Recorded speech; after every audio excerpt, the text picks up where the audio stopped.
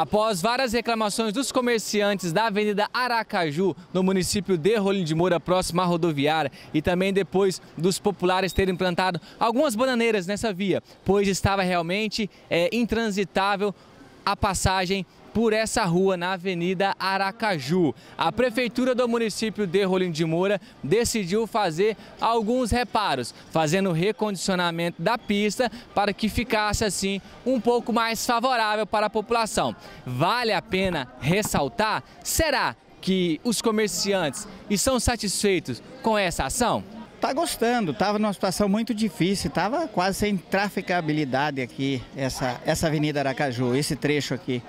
Mas agora, com esse bloqueteamento, com esse trabalho que eles estão fazendo, a gente tem certeza que vai, se não é 100%, mas chega próximo de 100% esse trabalho, dá para a gente atravessar esse período chuvoso com uma, uma rua boa agora daqui para frente e depois, se for o caso, fazer um pavimento mais bem trabalhado, mas isso aqui já é um paliativo, que seja, mas eu acredito que já resolve o problema nosso aqui e de todos os comerciantes, de todos os municípios aqui de Rolim de Moura. A gente fica super contente, com certeza, nem só nós aqui, como todo usuário que, que passa nessa rua, os comerciantes, todo mundo, à vista do que estava, a gente só tem que agradecer. A gente acredita que Agora a coisa agora conseguiu funcionar, deu certo, né? E agradecer ao prefeito, à sua equipe, que as coisas acabou tá, tá dando tudo certo. É, porque muitas das vezes as pessoas só lembram de criticar.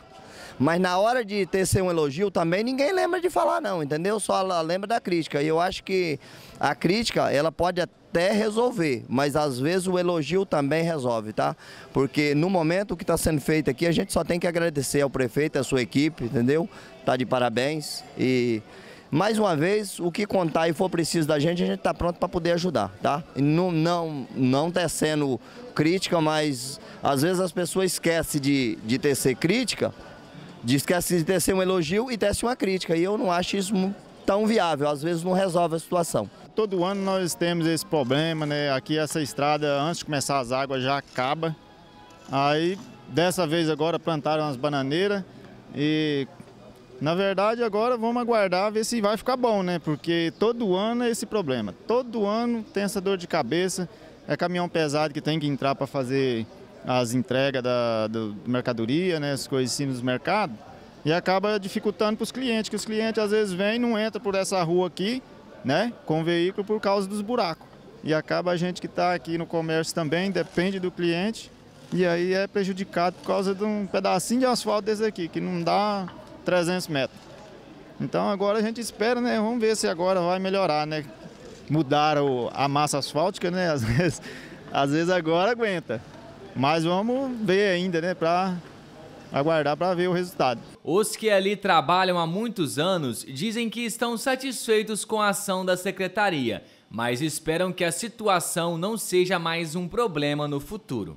Estamos fazendo um trabalho agora né, de recuperação, colocando os bloquetes ali. O município de Rolim de Moura já investiu dos recursos próprios é, na compra de mais de 500 toneladas de massa asfáltica. Tampamos alguns buracos, agora estamos empenhando mais 100 toneladas e exclu exclusivamente naquele trecho ali também nós estamos aguardando aí um recurso através da emenda parlamentar do deputado estadual Laerte Gomes é, de 400 mil reais para a recuperação daquele trecho e vários outros no município. Então estamos aguardando a liberação para que a gente possa concluir esses trechos, essa recuperação nas nossas ruas e avenidas aqui do município e que a Avenida Aracaju ali nesse ponto especificamente vai ser recuperado ali fazer um, um, um trabalho melhor ali para que minimize essas questões, essas é, esses buracos que acontecem ali. Ali é uma parte um pouco baixa, né? passa um córrego ali entre, entre as ruas ali e que acaba afetando um pouco é, o pavimento ali da rua.